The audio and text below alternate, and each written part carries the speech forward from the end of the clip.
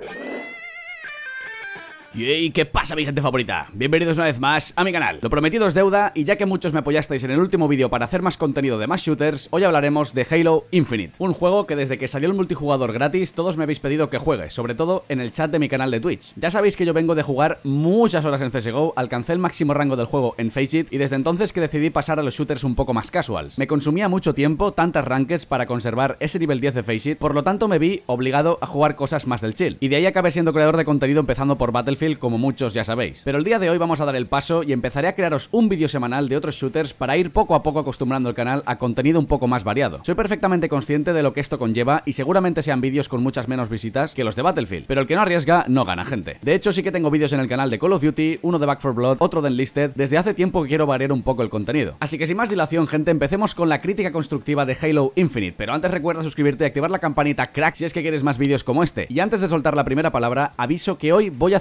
bastante en el modo competitivo de Halo Infinite. Comencemos. Sin equivocarme, esta nueva entrega de la saga Halo es una carta de amor a todos los fans de la old school ya que se nota muchísimo en el gameplay, la movilidad y las mecánicas principales del juego. Jugué a Halo 3 y Halo Reach en Xbox 360 en casa de unos colegas y este Halo Infinite me recuerda mucho a dichas entregas, la movilidad clásica y el gameplay sencillo, sin mecánicas adicionales que lo hagan un juego totalmente diferente como otros anteriores en la saga que intentaron cosas entre comillas innovadoras. Y realmente esta apuesta nostálgica funciona, porque recordemos que el multijugador de este juego es totalmente gratuito. Y esta es la principal cuestión de por qué considero que Halo Infinite es una alternativa muy buena para jugar a un shooter casual diferente. Y voy a hacer mucho énfasis en lo de shooter casual. Tranquilos que no lo digo por nada, me voy a explicar y profundizaré en todo lo necesario. Las primeras partidas que empecé jugando a Halo Infinite me gustó en gran medida el gameplay, ya que está centrado al 100% en el tracking. Los que no sepáis qué es el tracking o traqueo, es seguir con tu aim al enemigo mientras se mueve intentando no fallar ningún tiro. Es una mecánica que me encanta y que considero súper difícil de masterizar porque tienes que ser muy reactivo. Sin ir más lejos, juego a Quake 3 desde mis 4 años de edad, se podría decir que llevo el tracking en la sangre. Y claro, esto le da a Halo Infinite un skill gap bastante decente en cuanto a aim se refiere, porque de una manera u otra vas a tener que aprender a traquear para ganar enfrentamientos a medias distancias. Pero es aquí donde viene el plot twist, porque no todo es tan bonito en Halo Infinite. Todo el skill gap que te puede ofrecer el gameplay centrado en el tracking se lo cargan casi por completo varias mecánicas totalmente diferentes. Y no son mecánicas que sean braindead al completo, porque ciertamente necesitas timearlas en varias ocasiones, pero no siempre. ¿A qué mecánicas me refiero? Pues bueno, como son varias, empecemos por las granadas de Halo Infinite. Antes de que saltéis todos los fans de la saga a vomitar en la caja de comentarios, dejad que me explique un poco, lo entenderéis. Si nos centramos en las arenas clasificatorias, que no os voy a engañar, es el único modo de juego que pienso jugar en Halo Infinite, soy así de competitivo, ¿qué le vamos a hacer? Las granadas creo que necesitan un nerfeo. Os dejo algún clip por aquí para que veáis lo rápido que podéis morir sin ni siquiera poder hacer absolutamente nada para evitarlo.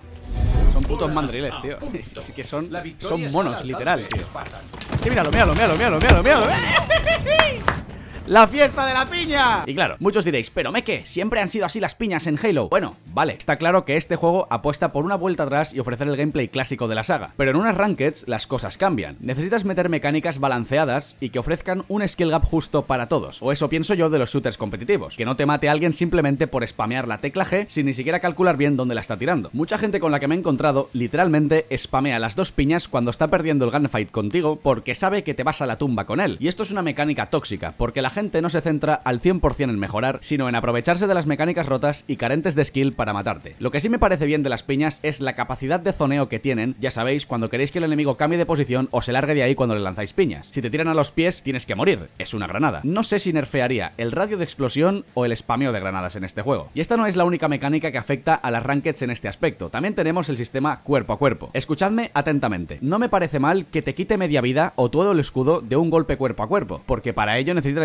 muy cerca del otro. De hecho, en Counter-Strike es igual y por detrás también matas de un toque, pero para ello tienes que estar literalmente pegado a él. En Halo Infinite hay unos comandazos que te recuerdan a las épocas de Modern Warfare 2, no estoy exagerando. Hay gente que manda cojones, se cogen los dasheos para spamearte el cuerpo a cuerpo, o gente que se la pela y tanquea tus disparos solo con la idea de matarte cuerpo a cuerpo, ya que no se atreven a traquear porque saben que están perdidos. Y aquí es donde viene el problema. Una mecánica bien hecha y balanceada no provoca este tipo de situaciones. Y repito, no me parece mal la mecánica en sí, pero esos comandazos se podrían reducir para que realmente necesites pensártelo bien antes de hacer un cuerpo a cuerpo. Y tranquilos, que no acabamos aquí con las cosas que no me gustan del Halo Infinite, tenemos también las armas y poderes repartidos por el mapa, que estos me parecen una idea genial para el multijugador de públicas del juego, ya que son partidas para echar el rato y realmente te pueden ofrecer una experiencia casual muy divertida. Pero como ya os he dicho, en Rankeds la cosa cambia. Me parece genial que armas como el sniper se puedan coger por el mapa porque necesitas acertar el tiro sí o sí que disparas. Puedes hacerte clips como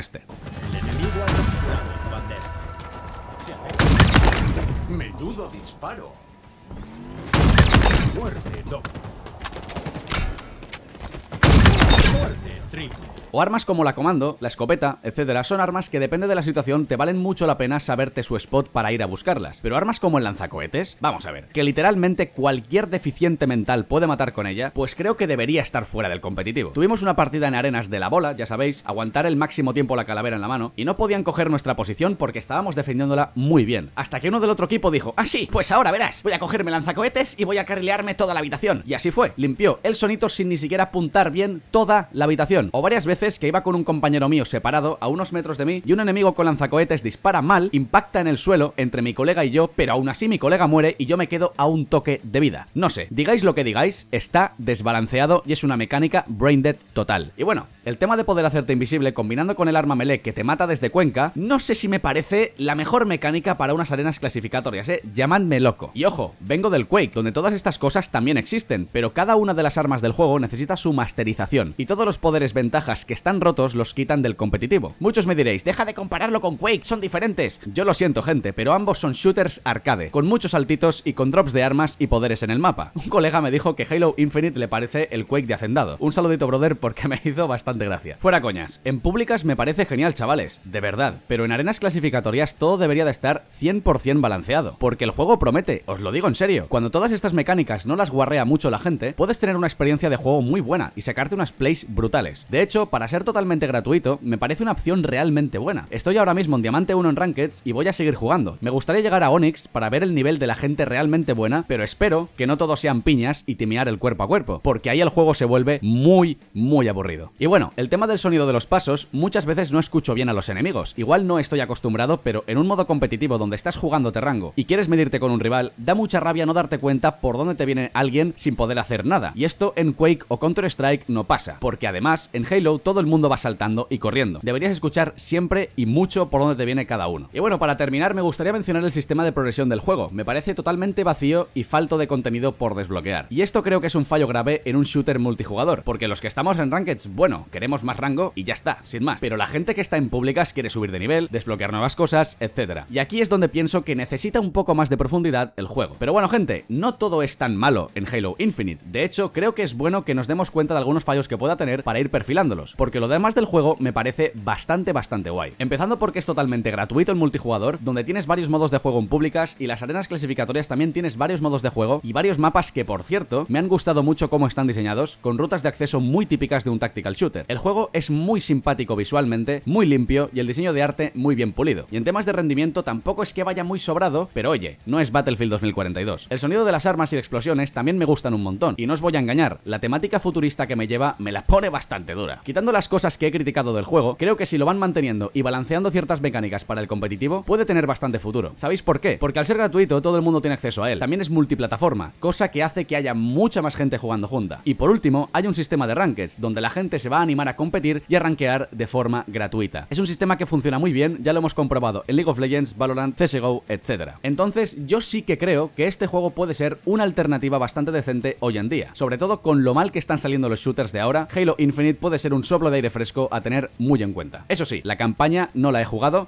pero vale 60 pavos. Que cada uno considere lo que hace con su pasta, pero yo esa pasta no me la dejo ni de coña. Muchos estaréis preguntando, ¿me qué? ¿El tema de la Aim Assist mando no hablas? Sé que es un tema bastante serio y que debería de haber comentado en este vídeo, pero como una imagen vale más que mil palabras, y con esto voy a finalizar el vídeo, os dejo con una demostración de lo que hace el aimbot, perdón, Aim Assist de Halo Infinite. Let's see, it does track. Look at that. This is not me touching my controller. It's fucking crazy. I have drift. So, I do have drift.